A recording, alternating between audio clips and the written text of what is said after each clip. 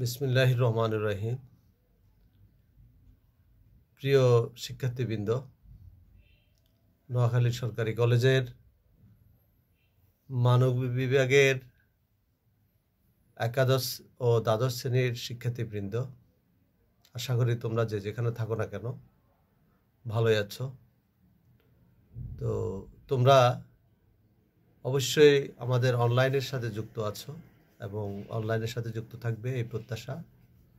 তোমরা অনলাইনের সাথে যদি যুক্ত থাকো, তাহলে তোমাদের লাভ হবে এবং তোমাদের, যেহেতু তোমাদের অফলাইনে বা ক্লাস হচ্ছে না, সেহেতু তোমরা অনলাইনে ক্লাসগুলো করবে এবং এক বন্ধু আরেক বন্ধুকে জানাবে। এবং তোমরা জানো আমাদের সপ্তাহে বুধবারে এবং রোববারে সম্ভবত এই দুই দিন আমাদের সপ্তাহে ক্লাস হয়। তো এই জন্য মঙ্গলবার রাতে আমরা ক্লাসটা নিচ্ছি যেন বুধবারে তোমরা পাও। তো এই পর্যায়ে আজকে তোমাদের সাথে সামনে আমি আলোচনা করব। মহানবী সাল্লাহ ইসলামের প্রায় তার জীবনী তার যুদ্ধ বিগ্রহ সমূহ শেষ হয়েছে। তো মক্কা বিজয় বা বিদায় হজ আমি আর পড়াবো না, ওগুলো তোমরা সহজ আছে, ওগুলো ছোট। তো তোমাদের সময় চলে যাচ্ছে। বিশেষ করে সেকেন্ড ইয়ার যাদের, তাদের পরীক্ষা যে কোনো মুহূর্তে পরীক্ষার ডেট দিয়ে দিতে পারে। আর একাদশ শ্রেণি তা তোমরাও এগিয়ে যাবে এই প্রত্যাশায়। আজকে মহানবী সাল্লাহ সাল্লামের সংস্কার সমূহ আজকের টপিকটা হলো হজরত মোহাম্মদ সাল্লাহ সাল্লামের মদিনা জীবনের। তিনি যে রাষ্ট্রনায়ক ছিলেন, পয়গম্বর ছিলেন, সেখানে তিনি যে সংস্কার করে গেছেন, এই মক্কার গুণধরা সমাজকে তিনি কীভাবে প্রভাবিত করেছিলেন, কীভাবে পরিবর্তন, কীভাবে বৈপ্লবিক পরিবর্তন সাধন করেছিলেন, সেটাই আলোচনা করব। প্রথমে আমরা আলোচনা করব সামাজিক সংস্কার। আমরা আগেই বলেছি, যখন আয়ামে জাহিলিয়া আমরা পড়িয়েছিলাম, সমাজে তখন কোনো নীতি নৈতিকতা ছিল না, অন্যায়, অত্যাচার, অবিচার, ব্যবিচার তারপরে কন্যা সন্তানদেরকে জীবন্ত কবর নারীদেরকে ভোগবিলাসের পণ্য মনা করা হতো, তাদের পিতা, ভ্রাতা স্বামীর সম্পত্তির অংশীদার তারা হতো না। তাদের উপর অনেক অত্যাচার করা হতো। এবং কন্যা সন্তানদেরকে, কন্যা সন্তান জন্ম হলে তারা মনে করত, এটা অমঙ্গলের চিহ্ন। এই জন্য তাদের চেহারা পাণ্ডুর বর্ণ হয়ে যেত এবং তাকে তারা হত্যা করত অথবা তারা তাকে কবর দিয়ে দিত। তো এই পর্যায়ে আমরা দেখতে পাচ্ছি সমাজে কোনো নীতি নৈতিকতা ছিল না। জোর যার মূল্য তার এই ছিল রীতিনীতি এবং নানা রকম অন্যায় অনাচার, অবিচার সমাজে ছিল। কোনো একটা শ্রেণীবদ্ধ সমাজ ব্যবস্থা ছিল না। কোনো কেন্দ্রীয় সরকার ছিল না। পুরো আরব দেশ ছিল ক্ষুদ্র ক্ষুদ্র গোত্রে বিভক্ত। এই গোত্রপতিদেরকে শেখ বলা হতো।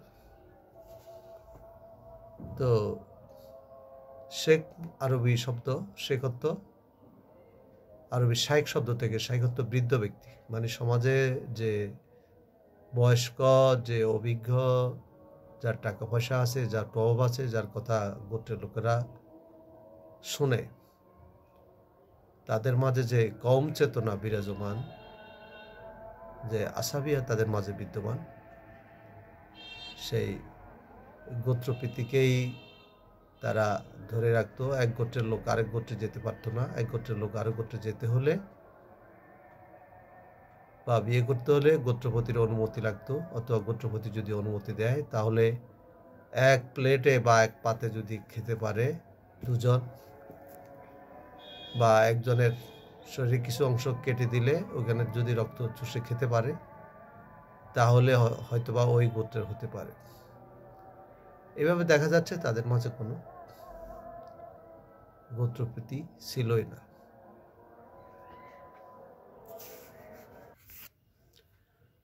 এভাবে দেখা যায়, তাদের মাঝে প্রকট গোত্রপ্রীতি ছিল।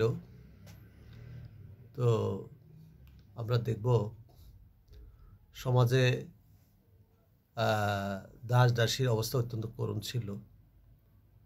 তারা মনিবের কথা মতো না চললে মনিবের কথার একটু হেরফের হলে তাকে অমানসিক নির্যাতন করা হতো। এবং তাদেরকে মানুষ মনে করা হতো না। এই জন্য মহানবী হজরত সাল্লাহ সাল্লাম বলছেন, ওরাও মানুষ, তোমরাও মানুষ দাস দাসীদের উপর তোমরা অত্যাচার করবে না এবং দাস দাস আজাদ করার চাইতে উত্তম কাজ আর দ্বিতীয়টি হতে পারে না। এবং হজরত জায়েদ হজরত বেলাল রাজি সালমান পার্সি, বিভিন্ন জন এরা ছিলেন দাস। এই দাসদেরকে গুরুত্বপূর্ণ স্থানে মহানবী ইসলাম বসিয়ে এটা হজরত বেলালকে, মদিনা মসজিদের মোয়াজ্জিন, কিন্তু জাহিদকে নিজের ইয়ে ছেলে নিজের বলতে গেলে নিজের কৃতদাস ছিল এবং তিনি তাকে সেনাপতিত্ব বরণ করেন। সালমান পার্সি বিশিষ্ট সাহাবীর মর্যাদা পান। এইভাবে অনেক তিনি ব্যক্তি জীবনে এবং খোলাফায় রাশিদিনরা অনেক দাসকে তিনি আজাদ করেন। এবং দাস ব্যবস্থার মূলে তিনি কুঠারাঘাত হানেন। যদিও ওই সময়ের প্রেক্ষিতে তিনি দাস ব্যবস্থা সম্পূর্ণ উঠিয়ে দিতে পারেননি, কিন্তু তিনি চেষ্টা করে গেছেন, এটা পরবর্তী সময় একসময় উঠে গেছে। যেটা আমরা দেখি, এটা আর কোনো কোনো নবী, কোনো রাসূল এটা করতে পারেননি বা চেষ্টা করেননি। এবং বিদায় হজ্জের ভাষণে তিনি দাসদের ব্যাপারে তিনি অনেক কথা বলে গেছেন, তোমরা যা খাও ওদেরকে তা খেতে দিবে, তোমরা যা পড়ো ওদেরকে। সেখানে বিস্তারিত তিনি আলোচনা করছেন। তারপরে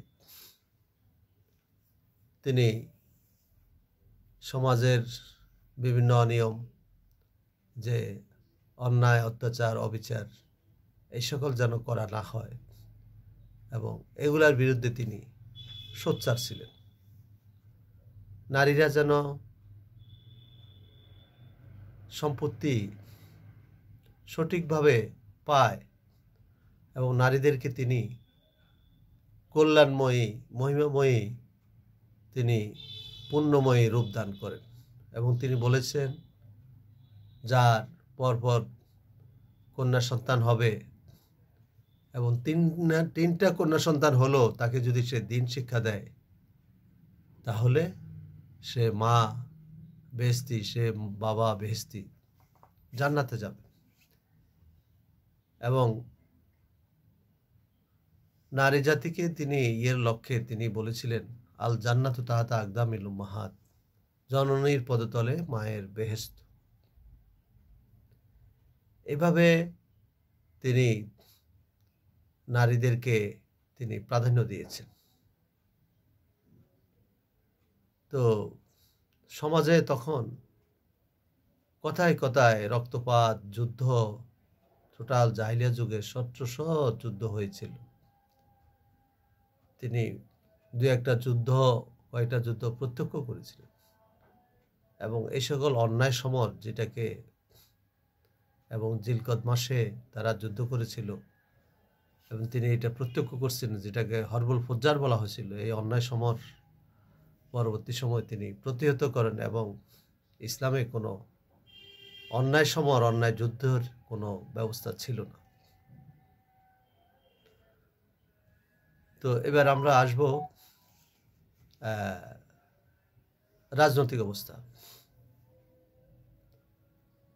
আসলে রাজনৈতিক ক্ষেত্রে সারা আরব দেশ দেখা গেছে ক্ষুদ্র ক্ষুদ্রে গোত্রে বিভক্ত ছিল, কোনো কেন্দ্রীয় সরকার ছিল না। এবং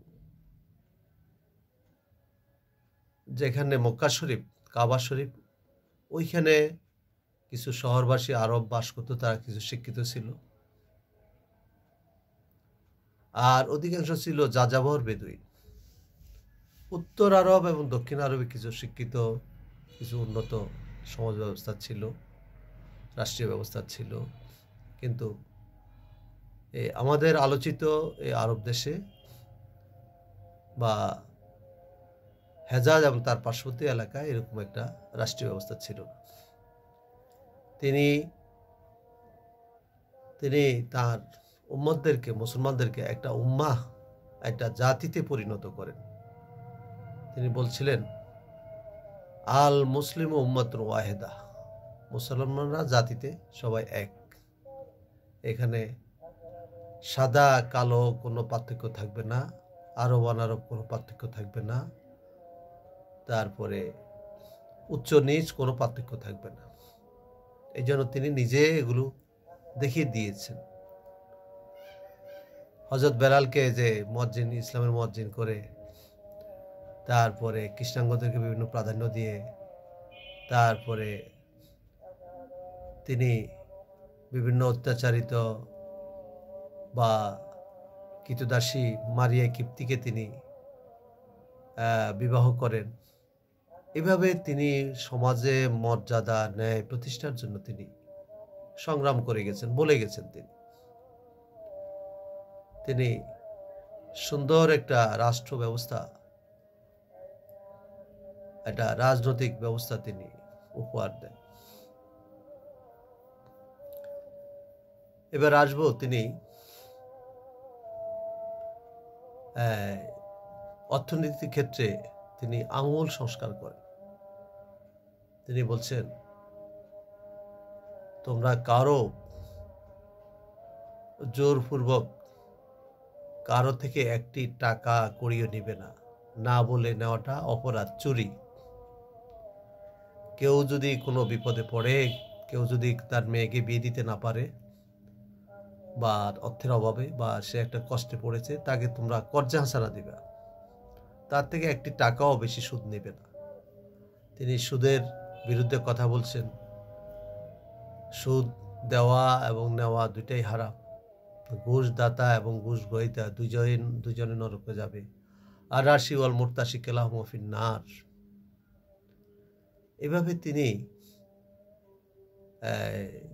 রাষ্ট্রীয় ব্যবস্থায়, সামাজিক ব্যবস্থায়, যে অর্থনৈতিক ব্যবস্থায় তিনি উন্নয়ন সাধন করেন, অর্থনৈতিক ব্যবস্থায় তিনি দেখা গেছে। রাষ্ট্রে একটা রাষ্ট্র চলতে হলে তো তাকে নির্দিষ্ট একটা অর্থনৈতিক কাঠামোর উপর চলতে হবে। তখন তিনি বললেন মুসলমানরা এই ইসলামী রাষ্ট্র চালাতে হলে, বিশেষ করে তার ইসলামী রাষ্ট্রে জাকাত খারাজ জিজিয়া, ফাই, খোমস, আলফাই। এই কয়েকটি ছিল ইসলামী রাষ্ট্রের ইনকামের উৎস এবং এই কয়েকটা দ্বারা তিনি ইসলামী রাষ্ট্র পরিচালনা করতেন। জাকাত আদায় করার জন্য তিনি বিভিন্ন আমিল নিযুক্ত করেন, বিভিন্ন প্রাদেশিক প্রদেশে তিনি আমিল নিযুক্ত করেন এই জাকাত আদায় করার জন্য। তারপরে প্রদেশের প্রদেশের শাসনকর্তাকে ওয়ালি বলা হতো। এভাবে তিনি আরব দেশকে বেশ কয়েকটা, যেমন Mecca, Medina, Hejaz, Yamama, Bahrain, Oman, Tayma, এভাবে তিনি বেশ কয়েকটা প্রদেশে বিভক্ত করেন এবং প্রাদেশিক শাসনকর্তা ওয়ালি জাকাত আদায়কারী আমিল এইভাবে জাকাত সম্পদের আড়াই পার্সেন্ট হারে, একশো টাকা, আড়াই টাকা হারে জাকাত দিতে হবে।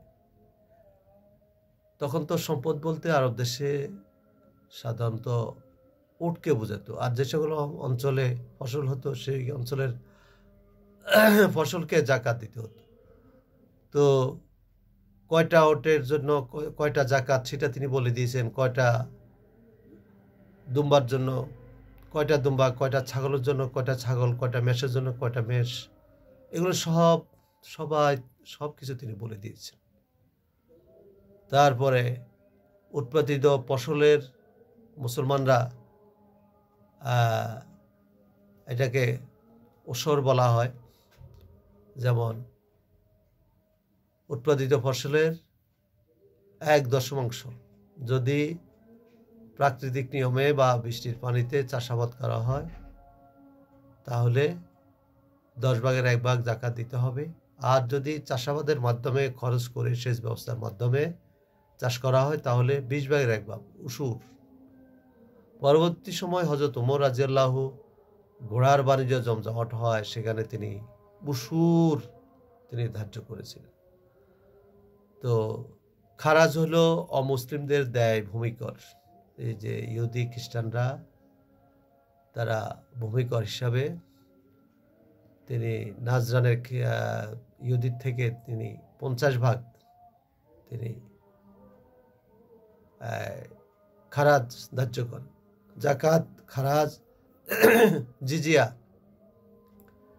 জিজিয়া হইল মুসলিম রাষ্ট্রে বসবাসকারী অমুসলিমদের নিরাপত্তামূলক যে দেয় কর এবং তারা যুদ্ধে অংশগ্রহণ করবে না, এই মর্মে প্রতিশ্রুতি দিয়ে তাদের জানমালের নিরাপত্তা স্বরূপ যে কর বা ট্যাক্স তারা দিত, সেটা হলো জিজিয়া। তারপরে আলফাই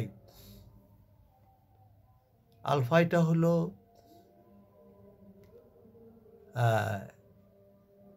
পরিত্যক্ত সম্পত্তি। শত্রুরা যদি পরিত্যক্ত অবস্থায় সম্পত্তি ফেলে রাখে, সেটা সরকার বাজেয়াপ্ত করে বা কোনো খাদ জমি, কোনো নদীতে জেগে উঠেছে, কোনো পাহাড়ি জায়গায় কোনো খাদ জমি, আরও বিভিন্নভাবে আহরিত এই সকল জমিকে বলা হয় আলফাই। তারপরে আল খমস খমস হলো যে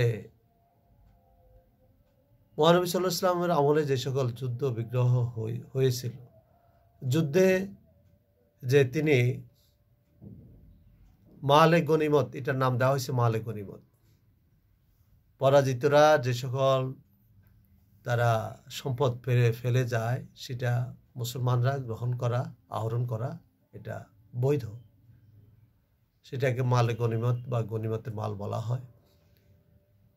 এই গনিমতের মাল থেকে পাঁচ ভাগের চার ভাগ সৈনিকদের জন্য আর এক ভাগের মধ্যে রাষ্ট্রীয় কোষাগার, অনাথ, গরিব, বিধবা, নিজের পরিবার এবং অন্যান্য সাহাবিদের জন্য ভাগ করা হতো। এইভাবে গনিমতের মালকে পাঁচ ভাগে ভাগ করা হতো। তারপরে জিম্মিদের থেকে যে জিম্মি মুসলিম সরি জিম্মি। মুসলমানদের হাতে যারা যুদ্ধবন্দী, তারা যে যে ইয়েটা দিত, তারা যেদিন তারা মুক্তিপণ দিতে পারবে, তাদেরকে আজাদ করা হবে, তাদেরকে ছেড়ে দেওয়া হবে, সেটাও একটা ইনকামের বিষয়বস্তু ছিল। এভাবে সুন্দর একটা রাষ্ট্রীয় কাঠামো তিনি করেন। তার সচিবালয় বলতে বা তার যেটা প্রাদেশিক রাজধানী তো মদিনা, সচিবালয় ছিল মদিনা মসজিদ, মদিনা মসজিদে তিনি একাধারে ওই মদিনা মসজিদের ইমাম, আবার তিনি রাষ্ট্রনায়ক, আদর্শ স্বামী, আদর্শ কাজী, সেখানে আসর নামাজের পরে তিনি বসে তিনি খোঁজ খবর নিতেন, আজ কোনখানে, কোথায়, কতজন ইসলাম গ্রহণ করেছে, কোথায় জাকাত, খারাজ আদায় হয়েছে, এই সকল খোঁজ খবর নিতেন। তো এই জন্য আমরা সাধারণত আমাদের ইমামরা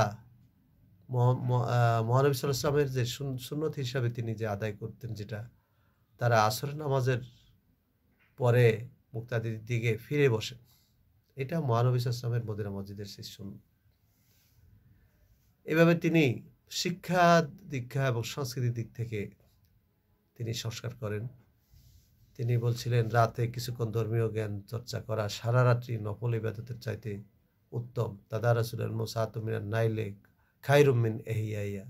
তিনি আরও বলেছেন, তোমরা জ্ঞান অন্বেষণ করো, যদিও উহা সুদূর চীনে হয়। উতলুবুল এলমা আলাউ কানাফিস চীন অথবা বিশ্বীন তারপরে তিনি আরও বলেছেন, তালাবুল এলমে ফরিজাতুন আলা কুল্লু মুসলিমিন ও মুসলিমাতুন। জ্ঞান চর্চা করা প্রত্যেক মুসলমান নরনারীর প্রতি কর্তব্য। এইভাবে তিনি শিক্ষাকে প্রাধান্য দেওয়ার জন্য, শিক্ষাকে উজ্জীবিত করার জন্য তিনি এই সকল কথাগুলো তিনি, এই সকল হাদিস, এই সকল অমূল্য বাণী তিনি বলে গেছেন। তিনি স্ত্রীদের স্ত্রীদের কথা বলছেন, স্বামীদেরকে এটা তোমাদের উপর তাদের স্ত্রীরা তোমাদের পবিত্র আমানত, তাদের সুখ দুঃখের দিকে তোমরা দেখবে। তোমরা তাদের পোশাক, তারা তোমাদের পোশাক, তাদের উপর অত্যাচার করবে না। যদি তারা কথা না শুনে, তাহলে সেইভাবে ব্যবস্থা আছে, ইসলামে বিভিন্ন ব্যবস্থা আছে। সেগুলো তিনি বলে গেছেন, এটা আমরা অনেকেই জানি। বিছানা আলাদা করা, এক তালাক, দুই তালাক, পরে তিন তালাক, এই সকল বিভিন্ন ব্যবস্থা তিনি বলে গেছেন। তারপরে তিনি তিনি তিনি যে অর্থনৈতিক যে সংস্কারগুলো করেন, এগুলোর মাঝে তিনি একটা বৈপ্লবিক যে তাদের যে লুণ্ঠন বৃত্তি বৃত্তি, তাদের যে